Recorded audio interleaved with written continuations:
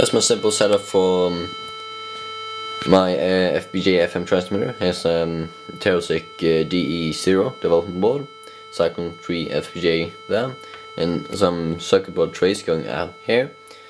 It works as an antenna. And then here we have a normal FM radio. Let's turn it up a bit. And then we have some notes and buttons we can push and play some notes.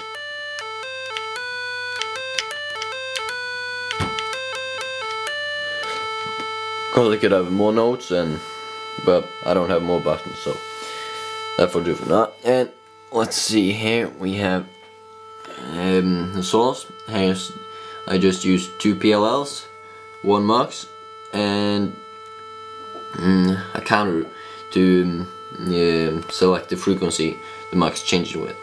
And the frequency is uh, something like um, 104.6 and 104. 6.8 or something like that. So about um, 100 kilohertz difference. And um, yeah, that's about it. You can look at the source for the counter, and that's simple too. Just a counter that counts up till it's reset, that, and that resets it inverts uh, the output.